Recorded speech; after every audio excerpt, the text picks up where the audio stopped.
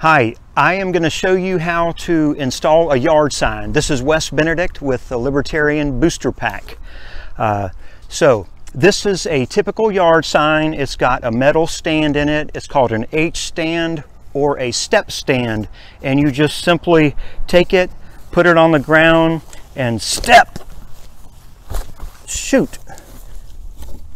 Okay, it all bent up. We we have kind of soft ground, but there's rocks under there, so it didn't work very well. It's all mangled. Can you see it's all mangled?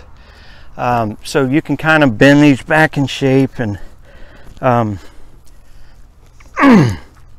it's not easy. Okay, let me just try again. Oh shoot, it, the whole thing broke off. So, okay, so that didn't work. Let me try another method.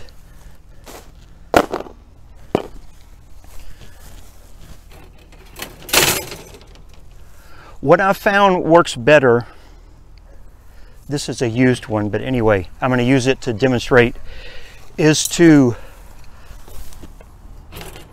put the stand in the ground first and then put the sign on the stand. So um, when I push this down, you can see it's, it's hitting rock like right away, no matter where I do it. So, but if you, if you do find a place where it goes way down in, then you're good. But since I have kind of rock, no matter where I do this, I'll just take a hammer and put my hand, don't hold it like this because you'll bang your hand. You'll bang your hand if you do that. But I put my hand right here and just hammer it in. I'm still hitting rock.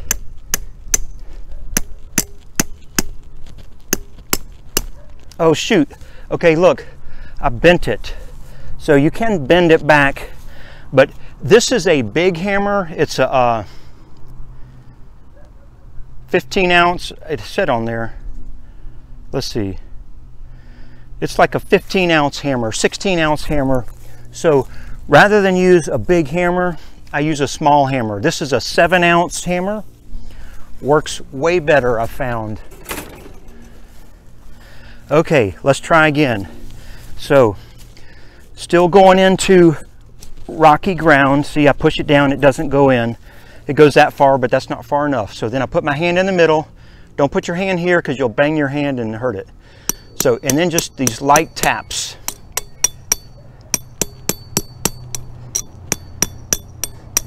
And often, if you hit it a bunch of times lightly, it'll punch through the rocks that are in the ground, underground. So if you live in Austin, Texas or Dallas or somewhere dry, then it's very, you'll often have to use a hammer to get these in. So,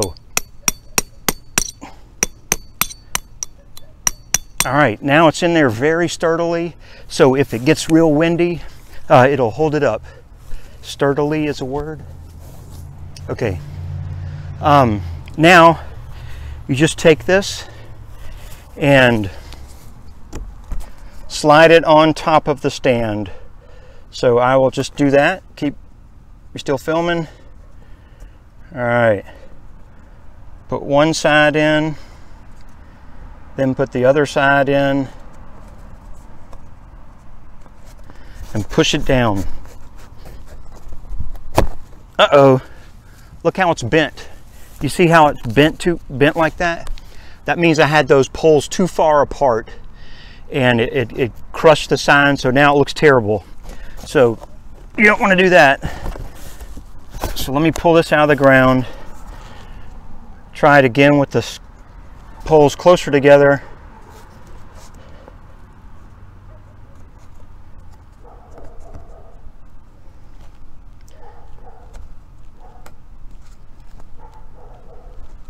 Okay, now they're closer together but look, it won't go, now they're too close. See, it won't go down all the way. It's okay, the noise. The dog barking. Okay, timeout. Okay, so in this case, the stand poles are too close together, so I can't get the sign all the way down. It looks kind of bent and mangled, it might not be level if I do it that way. So I want to show you one other trick that I use before I get started. So come over to this table. You can come film up close here. What I do is take the sign and take a stand and put the stand just about in the center here and just put it up against there like that and then mark it. I'll mark it just to the right and just to the right of both poles just to the side. And that way now I know because you you never can tell if these are going to be lined up just like that or like that. It, it's hard to install it if it's one way or the other. So now that I have it marked I know that I need to bend those and put them in right like that. So let's come over here again and I will um, I will start with a new sign. I'll do it again. Watch me hammer this in I've already marked where the I've already marked on the back where the pole should go. I'm going to come in here find it where it goes in easily. Doesn't go in anywhere easily. It's it's hard rock underneath there after about four inches.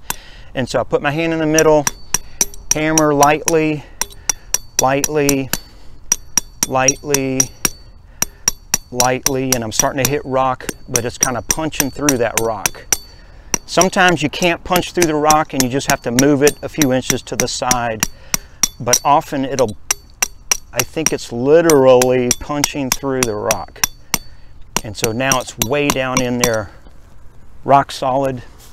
And I just, I've got these marks. So I guess I'll put it in showing the other way so you can see these marks. So I just put one right on the mark and then I push it down some and then put this other one right by the mark. And then it pushes all the way down and seats just perfectly and this is way down in the ground. Um, it gets super windy. Uh, it's very calm today, so it's, it's, it's very easy for the sign to hold up today. But often it's extremely windy, and by having the sign way down in there, seated here, and this all the way down there, it stays up. So, um, you still rolling? Okay. So that's how to install a simple yard sign. My name is Wes Benedict. I'm with Libertarian Booster PAC. Uh, it's also helpful to have a hat like this if you're installing out in the sun. Uh, this Libertarian hat is available at libertarianboosterpac.org. These Texas Libertarian shirts are also at libertarianboosterpac.org. And these Enough is Enough Vote Libertarian yard signs are available at libertarianboosterpac.org. Political advertisement paid for by Libertarian Booster PAC, blah, blah, blah, blah, blah, blah. That's it.